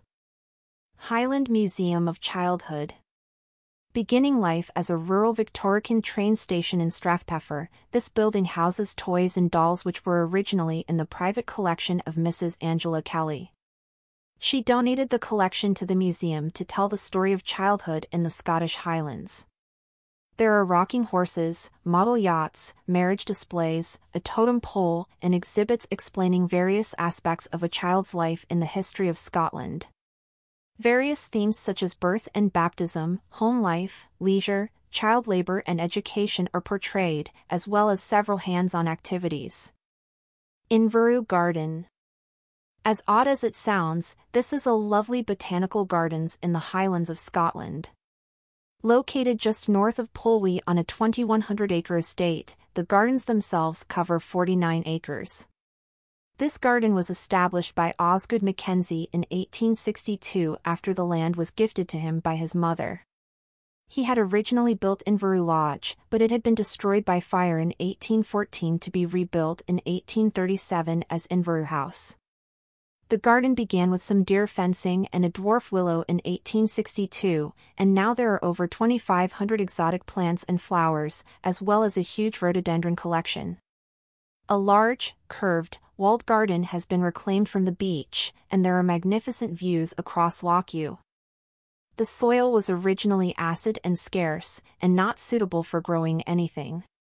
However, determination reigned, and Osgood Mackenzie worked his garden, bringing baskets of soil and trees. Over time, he transformed the rocky headland into the lush gardens there today. The estate was handed over to the National Trust for Scotland in 1952 by Osgood's daughter, Mary Sawyer, along with a generous endowment for the garden's upkeep. Poolewe while this was once a very important port town and home to the Red Smiddy Iron Works and a port of entry for cattle coming from Lewis and Harris via the ferry. Today, it is a charming village of white rendered buildings. The rustic St. Maelrebus Church looks medieval but was built in 1965. It was dedicated to the 7th century monk who founded a monastery nearby, and was the first Scottish Episcopal church to be built in the Northwest Highlands since the Jacobite Revolution. There is also a dramatic war memorial Celtic cross overlooking Loch Ewe. Stac Pollaidh Anglicized to Stack Polley, this mountain has a rocky crest with pinnacles and gullies. Stack Pollaidh means peak of the peat moss, and indeed, there is peat moss on the southern side. It is a popular climbing spot, with fine views and easy access via modern road which leads to the large trail to the summit. It can be climbed in less than three hours by a relatively fit climber. If you are looking for a solitary climb, though, you will be disappointed, as the place is quite popular. Because this is such a popular climbing spot, the entire site has suffered from erosion, so take care while visiting. There are some odd formations, such as the Lobster Claw Pinnacle, the Sphinx, the Tam O'Shanter and Andy Capp, to interest the photographers. The views of the Atlantic are incredible. Roxburghshire. Jedburgh Abbey. The borders between Scotland and England have been contentious throughout the centuries, and Jedburgh Abbey is no exception. Established by David I in 1118 CE, the abbey has been subjected to attack and looting, and finally reduced to a parish church in 1560 with the coming of the Reformation. As the church started deteriorating, services moved into a small area of the nave in 1671 for safety reasons. It was finally abandoned in 1871 when a new church was built. By 1917, the site was handed over to Historic Scotland for care. These ruins, while stripped of most decoration, are still beautiful and do retain some interesting features, such as the intricately carved fragment of a shrine that dates back to the 8th century. If you are a fan of delicate and intricate church architecture, this place will certainly not disappoint, with many colonnaded arcades and window casings, rose window, and the Romanesque main doorway.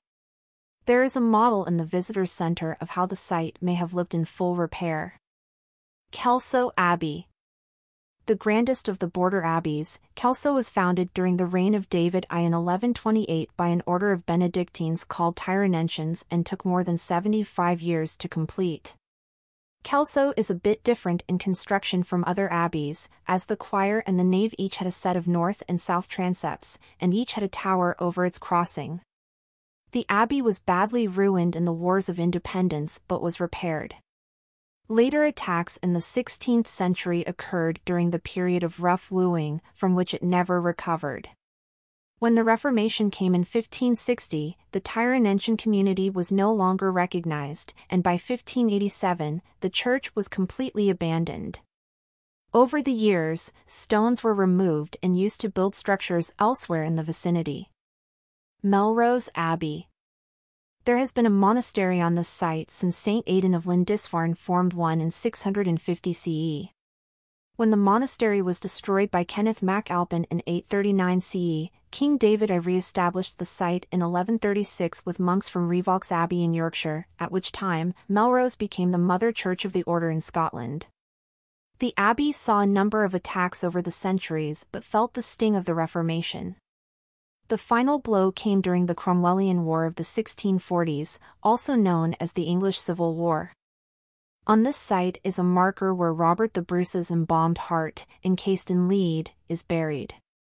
What makes this abbey remarkable is that it is reasonably intact, and still quite extensive.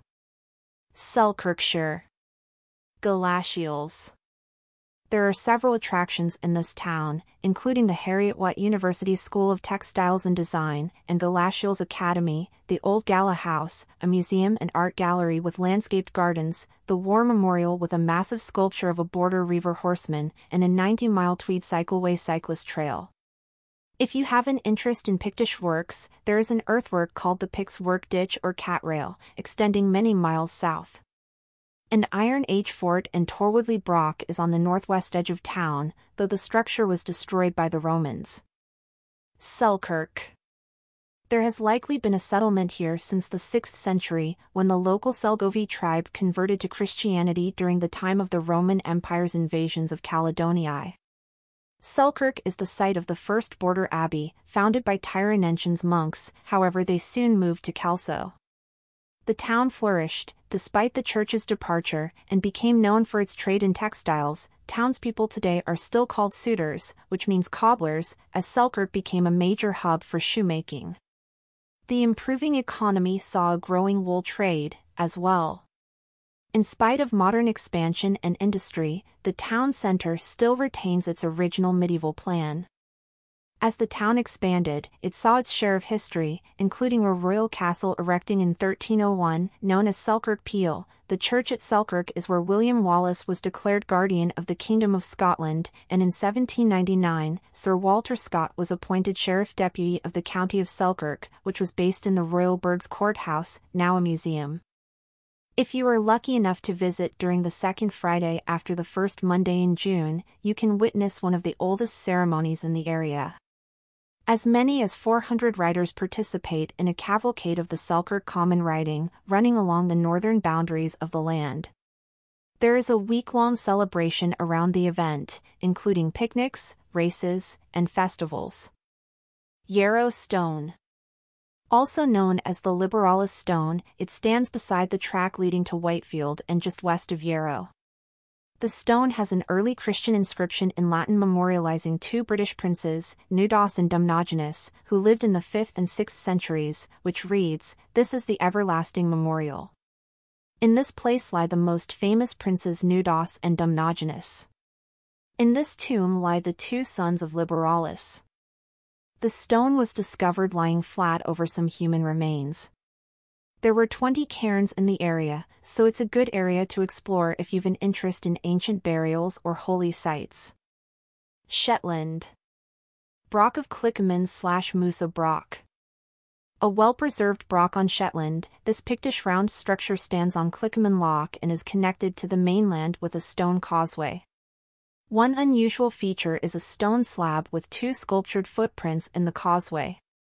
It was thought that footprints of that sort, like the one in Dunadd and Argyll, are associated with kingship. You can explore the small Bronze Age farmhouse, the cattle enclosure, and the surrounding building foundations. This site was first occupied 3,000 years ago, and the original settlement still has remains. The tower itself is also called Musa Broch, and once stood about 16 yards high.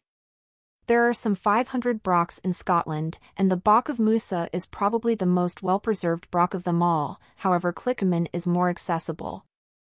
Byre Chapel The church that doesn't look like a church. This byre, cowshed or barn, has been converted into a small chapel, while retaining its original features. The interior is simple and beautiful, with hay bales, wooden pews and cross, and a simple concrete floor decorated with a crisscross pattern. The pews are covered with sheepskins for comfort. It was originally the chapel of the Society of Our Lady of the Isles, a convent that has now been moved to a purpose-built chapel nearby. Fair Isle By definition, this is a hidden place. It is the most remote inhabited island in the UK and measures 3 by 1.5 miles. It is the southernmost island of the Shetland Islands and it is halfway to the Orkney Group. Fair Isle is most known for the bird observatory and for its traditional style of knitting. This place has been inhabited since the Bronze Age, with a current occupancy of 68 as of the 2013 census, who live on crofts in the south. You can observe workers while they build boats, spin, weave, or knit. While there are no pubs or restaurants on the island, there is a permanent bird observatory, founded by George Waterston in 1948 and provides catered accommodation, rather than hostelry.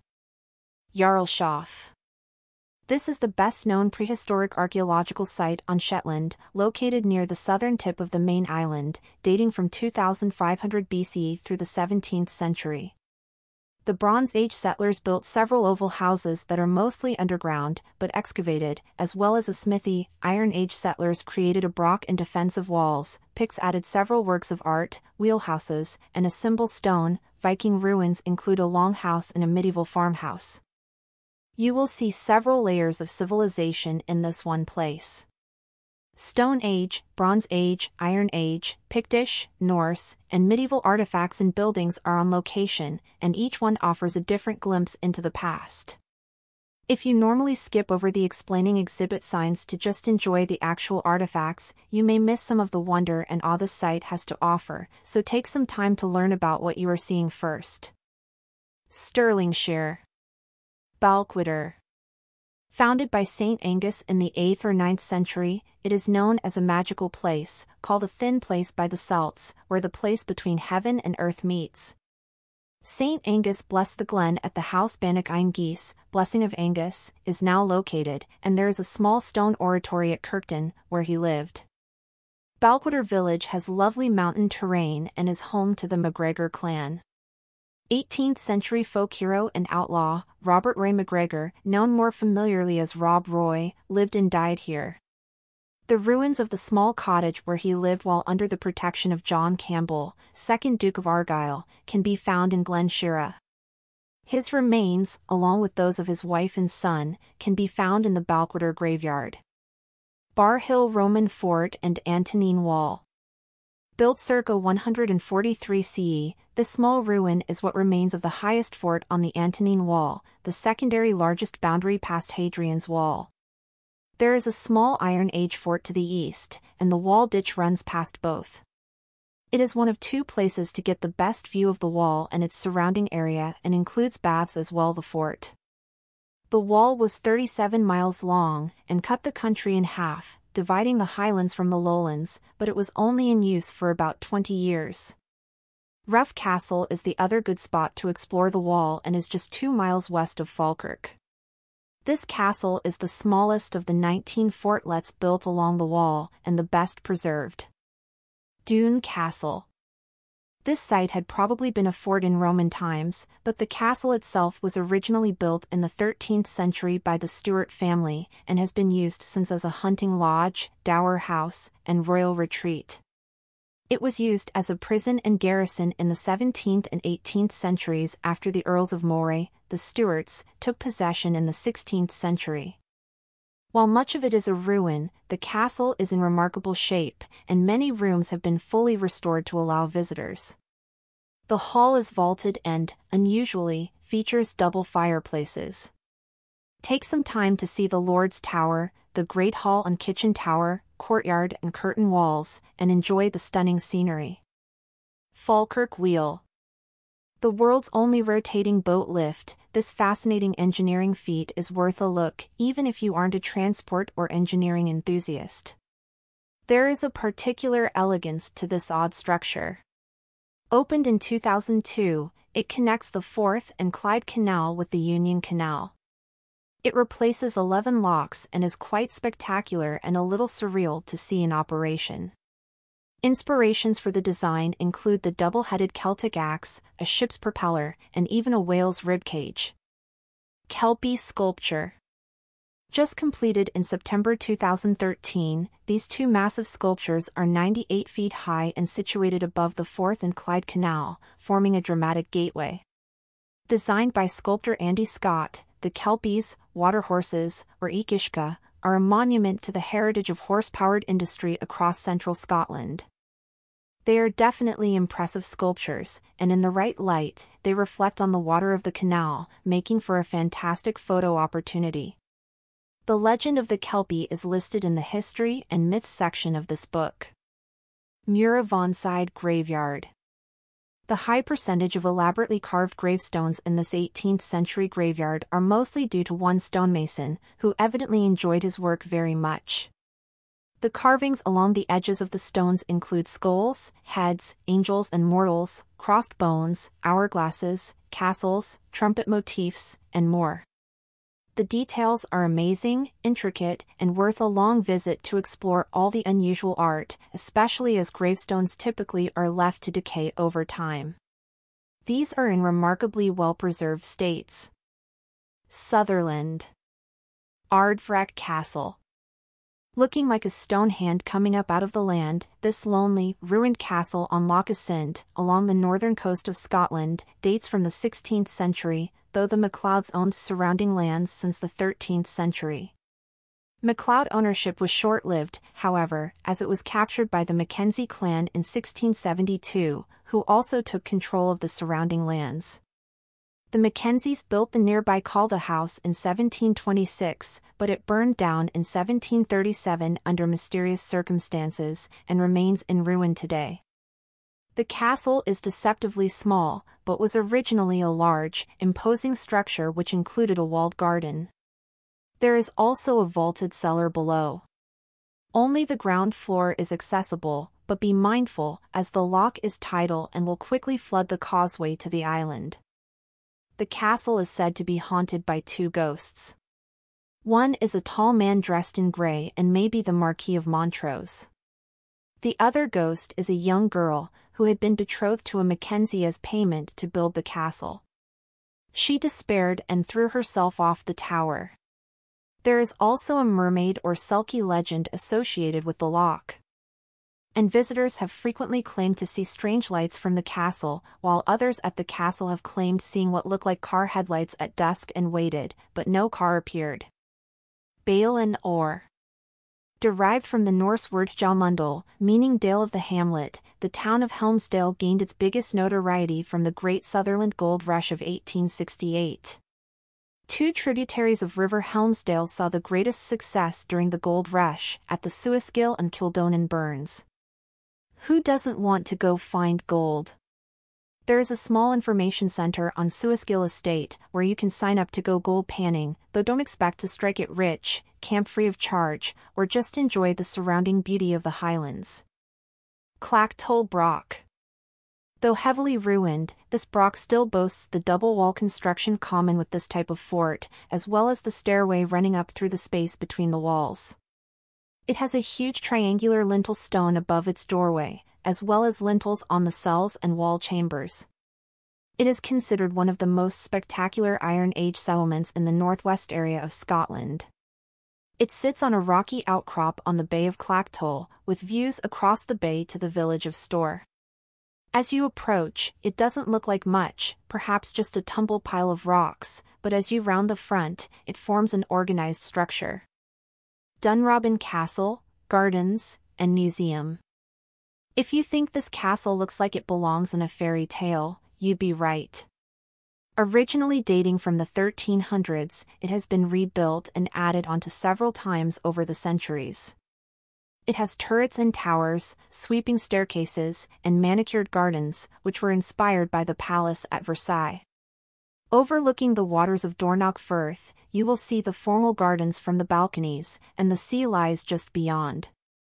It is a glittering sight to behold. You can also watch a falconry demonstration if you get there at the right time. It is definitely worth a tour, as the rooms are all beautifully preserved. One is full of period clothing, ball gowns, and uniforms. Portraits adorn many walls. Needlework from the fifth Duke's wife is in the paneled dining room. And the library boasts more than 10,000 books. The museum is full of trophy heads from many animals shot by family members while on safari, as well as displays of archaeological artifacts discovered on the estate. Sandwood Bay Having been called the most magnificent beach in the UK, it is an isolated, picturesque mile-long beach that lies to the south of Durness and Cape Wrath. Sandwood probably gets its name from the Norse word sandvatn, meaning sand water. It's believed Norse longships were dragged across the dunes here to Sandwood Loch. Today, you will find a mile and a half of pinkish sand and huge sand dunes. Sea cliffs and an impressive sea stack face right into the fierce North Atlantic Ocean. It is not easy to get to, but that is part of why it is so unspoiled. There is a public road a few miles northwest of Kinlochbervie. The walk is about 4 miles long and isn't the most interesting stroll, but the result is worth it. There is peat bog on either side, so don't stray from the path. There are several legends of this remote beach, including the sighting of a yellow-tailed mermaid, and the ghost of a mariner, victim of a shipwreck off the coast, said to knock on the windows of the old cottage near the beach when it was still inhabited. This stretch of coastline has been host to numerous shipwrecks over the centuries, all of which lay out at sea, or indeed under the sand. West Lothian Almond Castle Approach this ruined castle with care, as the walls are not maintained and can crumble. It would be much safer to view from the outside. Also called the Haining and Haining Castle, this structure likely dates back to the early 15th century. It passed into the Livingston family in 1542 by way of marriage and underwent some expansion in later decades. After several generations, the current Lord, Sir James Livingston, was given the title of Lord Almond, after which the castle adopted the name Almond. It has been a ruin since this lord backed the Jacobite movement and had his lands forfeited to the crown. Perhaps one day this lovely ruin will be restored, carefully. Blackness Castle. This 15th century fortress has an odd, defensive shape which follows the contours of the rocky coastline of the shore of the Firth of Forth. Originally built in the mid-15th century by Sir George Crichton, this castle served as the main port serving the royal burgh of Linlithgow. The lands and titles were forfeited to the crown at the time of King James II of Scotland, and it has remained in crown hands ever since.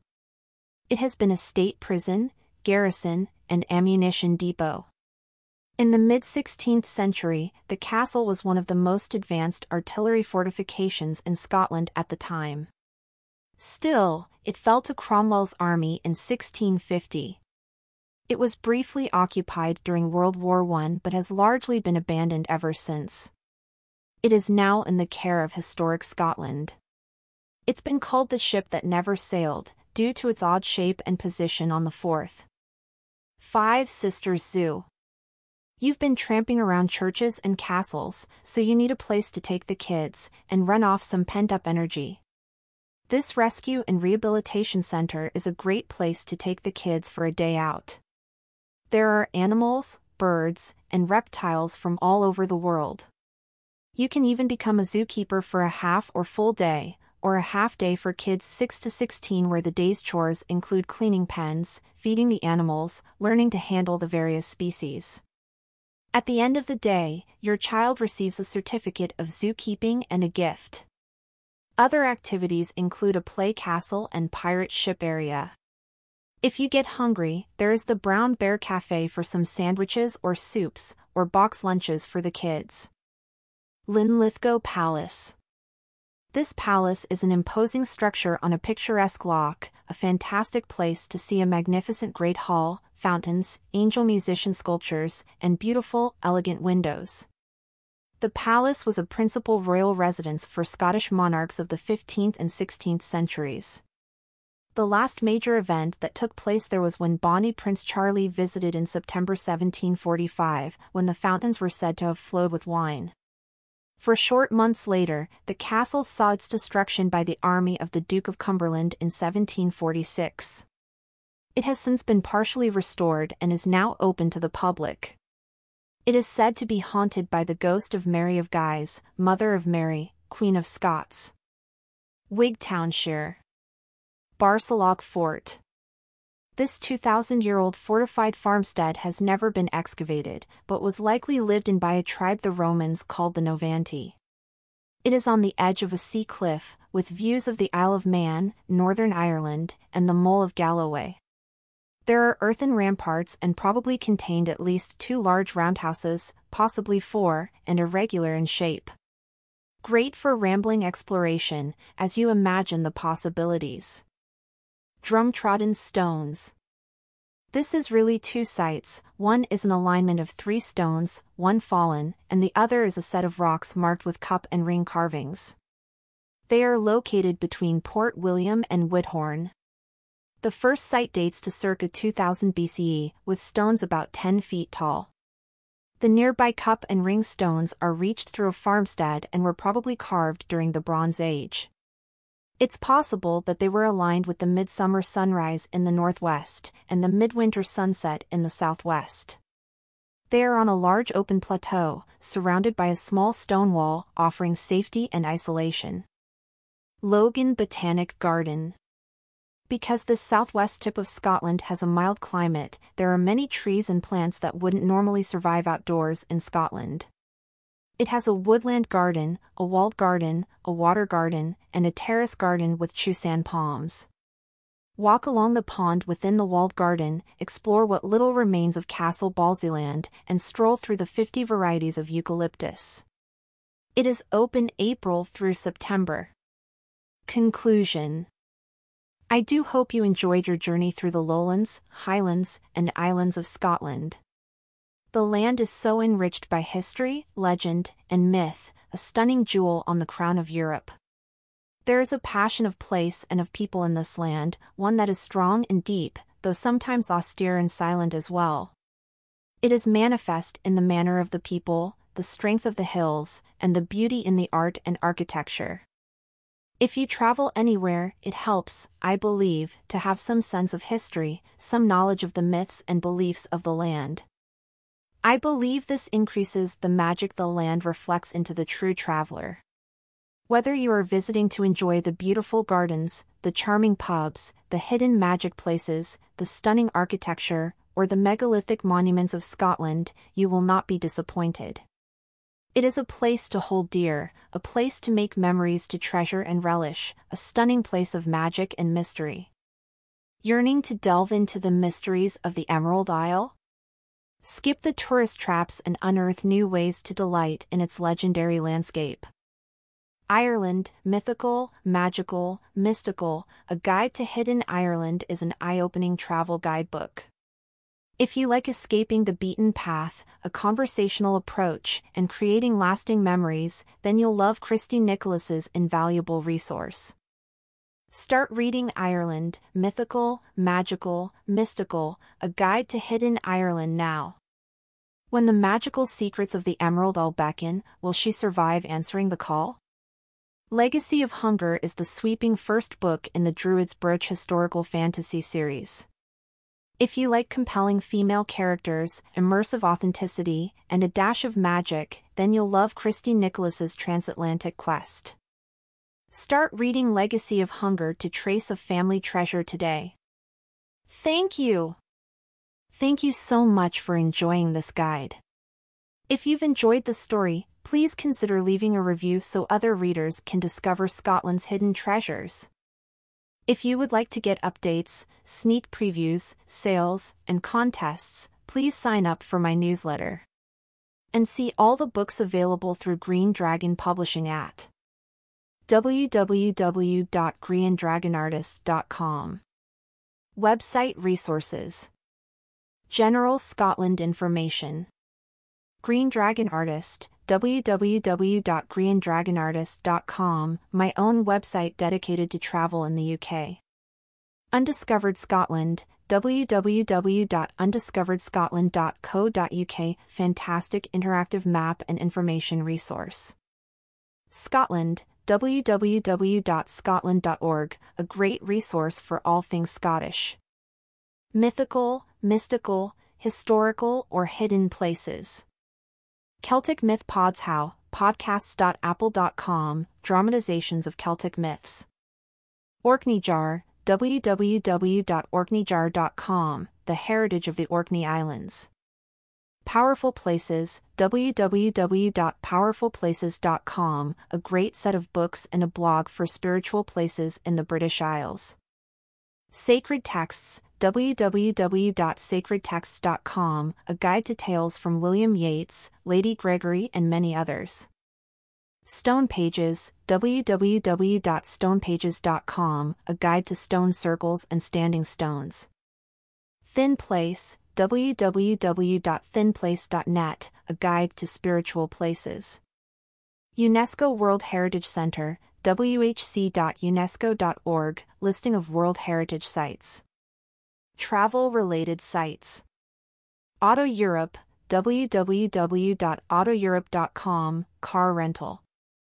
Enterprise Car Rental, www.enterprise.com. Expedia, www.expedia.com. Fodor's Forums, www.fodors.com, great help, and some snarky advice from others who have been there. Google Maps, maps.google.com. Green Traveler, www.greentraveler.co.uk, for those that prefer low-carbon holidays. Insure My Trip, www.insuremytrip.com to compare travel insurance plans. ITA Software Matrix, matrix.itasoftware.com, fairly comprehensive airfare search. Listed properties of the UK, www.list.co.uk. ScotRail, www.scotrail.co.uk. Scottish pubs, www.insiderscotlandguide.com. Seat Guru, www.seatguru.com, find out which seats are best. Slow Travel, www.smartertravel.com, for those who wish to travel at a slower pace. Traditional Music and Song, www.tumsa.org.uk. TripAdvisor, www.tripadvisor.com for researching the BNBS, hotels, and sites.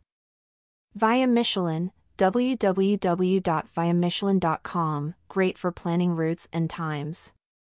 Unusual places to stay, www.quirkyacom.com. Discount sources. Airfare Watchdog, www.airfarewatchdog.com for discount airfare.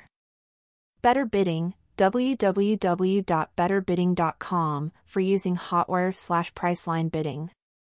Bidding for travel bidding for travel.youku.com for using Hotwire slash Priceline bidding. Edinburgh Pass, www.edinburgh.org. Flyer Talk, www.flyertalk.com for those who travel frequently. Historic Scotland Pass, www.historicscotland.gov.uk. Kayak, www.kayak.com. Last Minute Travel, www.lastminutetravel.com for last minute airfare deals. Lonely Planet, www.lonelyplanet.com, good all-round site, especially for tight budgets. National Heritage Membership, www.britainexpress.com. STA Travel, www.statravel.com for student and teacher travel. Student Universe, www.studentuniverse.com for student and teacher travel. Travel Zoo, www.travelzoo.com for discount airfare. Veterans Advantage, www.veteransadvantage.com for veteran travel. Photography sources. DP Review, www.preview.com to compare cameras. Lulu, www.lulu.com for book and calendar printing. Simply Canvas, www.simplycanvas.com for photographic printing. White House Custom Copies, www.whcc.com for photographic printing. Print resources. Ashmore, PJ, Neolithic and Bronze Age Scotland, an authoritative and lively account of an enigmatic period of Scottish prehistory, Batsford, 2003. Campbell, John Gregorson, The Gaelic Otherworld, Birlinn, Limited, 2012. Herman, A. How the Scots Invented the Modern World, Crown Publishing Group, 2001. Hunter, James, Last of the Free, A History of the Highlands and Islands of Scotland, Mainstream Publishing, 2000. MacDonald, Charles, Moidart Among the Clanranalds, Birlinn, Limited, 2011. MacDonald, Donald, Tales and Traditions of the Lews, Birlinn, Limited, 2000. Mackie, J.D., A History of Scotland, Pelican, 1964. Marwick, Ernest, The Folklore of Orkney and Shetland, Birlinn, Limited, 1975. Matthews, John. Celtic Myths and Legends, Pitkin Guides, 2001. McNeill, F. Marion, The Silver Bough, Canongate, 2001. Paterson, Raymond Campbell, The Lord of the Isles, A History of Clan Donald, Birlinn, Limited, 2008. Pryor, F. Britain BC, Life in Britain and Ireland Before the Romans, HarperCollins, 2003. Scott, Ronald McNair, Robert the Bruce, King of Scots, Canongate, 1996. Sjoestedt, Marie-Louise. Gods and Heroes of the Celts. London, 1949. Translation by Myles Dillon of Sjoestedts de et Heroes de Celts. Paris, 1940. Stewart, R.J. Celtic Gods, Celtic Goddesses. Blandford Press, 1992. Stewart, R.J. Celtic Myths, Celtic Legends. Blandford Press, 1996. Sykes, Brian, Saxons, Vikings and Celts, The Genetic Roots of Britain and Ireland, W. W. Norton and Company, 2007. Dedication I would like to dedicate this book to my parents, D. Paul and Judy. My love of art and travel, as well as my sense of determination comes directly from them, and I love them deeply for it. I would also like to thank my supportive husband, Jason, without whom I would be lost and adrift. About the author Christy Nicholas writes under several pen names, including Rowan Dillon, C.N. Jackson, and Emmeline Reese. She's an author, artist, and accountant. After she failed to become an airline pilot, she quit her ceaseless pursuit of careers that begin with the letter A and decided to concentrate on her writing. Since she has project completion compulsion, she is one of the few authors with no unfinished novels. Christy has her hands in many crafts, including digital art, beaded jewelry, writing, and photography. In real life, she's a CPA, but having grown up with art all around her, her mother, grandmother, and great-grandmother are slash were all artists, it sort of infected her, as it were. She wants to expose the incredible beauty in this world, hidden beneath the everyday grime of familiarity and habit, and share it with others. She uses characters out of time and places infused with magic and myth, writing magical realism stories in both historical fantasy and time travel flavors. Social media links. Blog www.greendragonartist.net Website www.greendragonartist.com Facebook www.facebook.com Instagram www.instagram.com TikTok www.tiktok.com